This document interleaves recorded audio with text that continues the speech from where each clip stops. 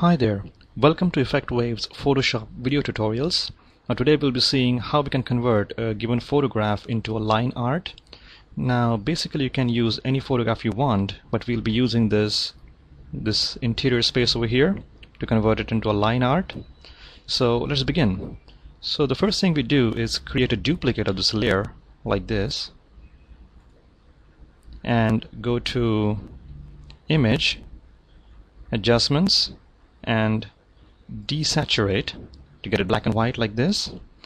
Then go to filter stylize and find edges.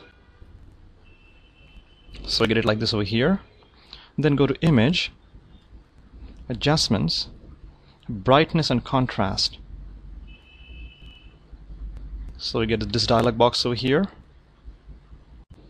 So we'll adjust the brightness up to 20 and the contrast to 87 hit OK.